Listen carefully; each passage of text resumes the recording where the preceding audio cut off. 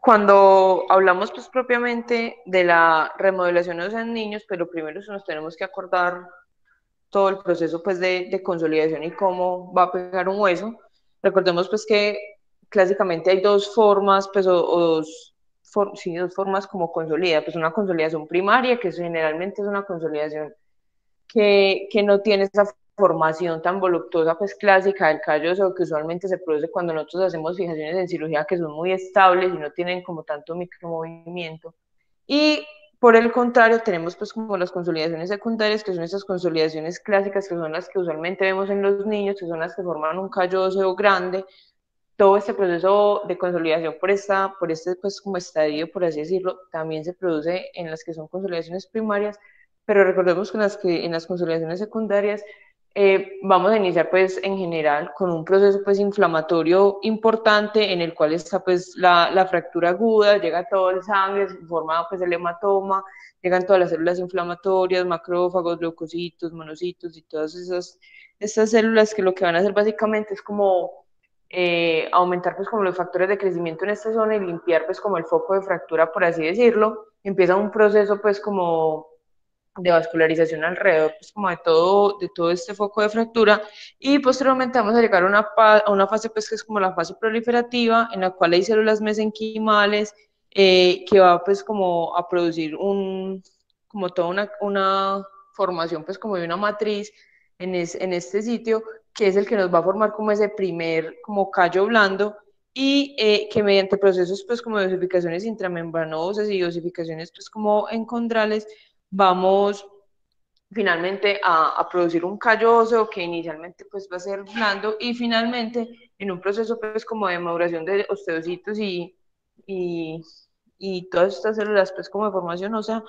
van a derivar en, en un callo eh, duro que va a ser inicialmente un callo grande, muy vistoso, pero que eh, mediante la acción pues, de los osteoclastos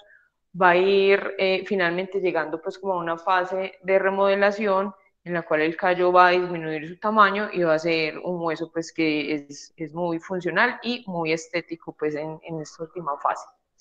Entonces, cuando hablamos propiamente pues de los huesos de los niños, tenemos que acordarnos pues que los huesos de los niños, a diferencia de los adultos, tienen dos cosas que van a ser fundamentales, que van a ser la fisis y va a ser el tamaño pues y, y como es el grosor del periósteo. Tenemos pues inicialmente pues como esa, esa parte epificiaria que va a ser toda la, la, porción que ser la porción inicial o final, pues o más proximal o más distal pues de, del hueso, que va a estar separada eh, de las metáfisis por la fisis, pues como ya les dije inicialmente en los niños,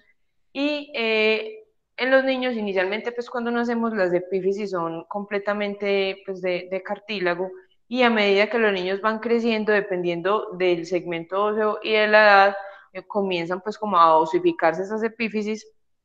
y a partir de, de allí, como vemos en esta imagen, entonces tenemos diferentes centros de osificación que se van a presentar a diferentes edades y que en, en, lo largo del tiempo finalmente se van a osificar completamente, se van a terminar siendo de un hueso maduro, firme, que eh, dependiendo pues de la edad uno la puede ver o no pues en, en las radiografías. Lo otro que es importante es que eh, vamos a tener las fisis propiamente, las fisis eh, van a tener pues como varias zonas, tenemos una zona germinativa pues que es como una zona de reserva pues celular por así decirlo, tenemos una fase o una zona de proliferación en la cual las células empiezan a duplicar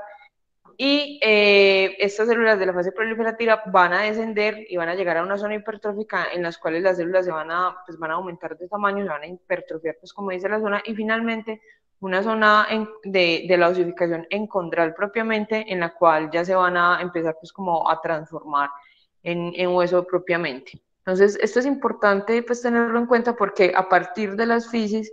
eh, vamos a, a, tener pues como el potencial de crecimiento longitudinal de los huesos. Y eh, dependiendo pues de, del tipo de hueso va a haber un segmento que va a ser como predominante en el crecimiento, que va muy de la mano de lo que nos dijo Ram,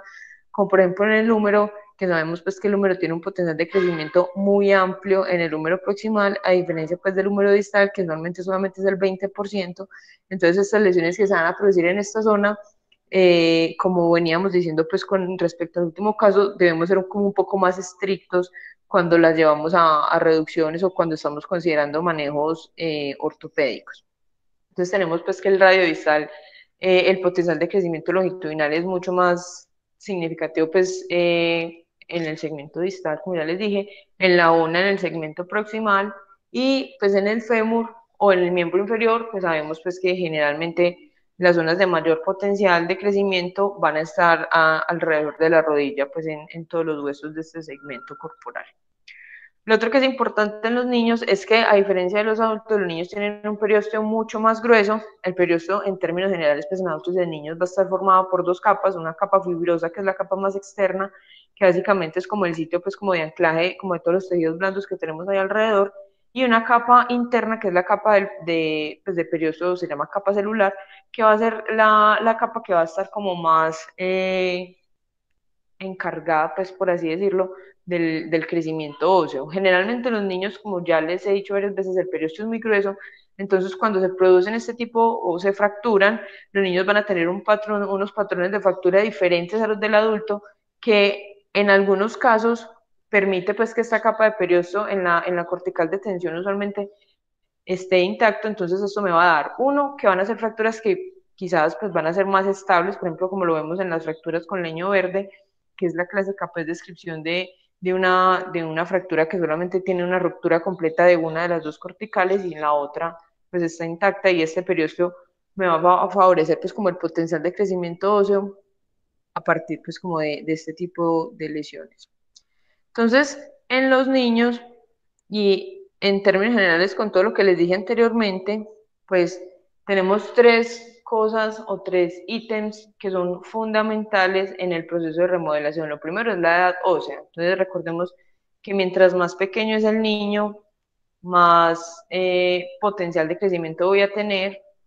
por todo lo que hablamos pues anteriormente de los entes de edificación, de las fisis. Lo siguiente es la proximidad de las fisis. Esto quiere decir, por ejemplo, en el caso del húmero, que no es lo mismo que un niño se fracture en una, en una fisis, pues o cerca a la fisis proximal, que es una fisis que tiene tanto crecimiento, pues 80%, a diferencia de una fisis distal que solamente va a tener 20% de crecimiento, entonces no vamos a tener como tanta expectativa o tanto margen pues de como de maniobrabilidad, por así decirlo. Y lo siguiente es que vamos a tolerar mayores ángulos de deformación, por así decirlo, cuando las fracturas se producen en el plano de movimiento eh, del hueso. Por ejemplo, si no tenemos una fractura de fémur distal, toleramos mayores deformidades cuando se producen en, en, los planos sagitales a cuando se producen en los planos coronales, muy similar a lo que toleramos en los radios distales, como por ejemplo en el niño que vimos en el segundo caso. Entonces, de acuerdo a esto, vamos a ver que la evolución clínica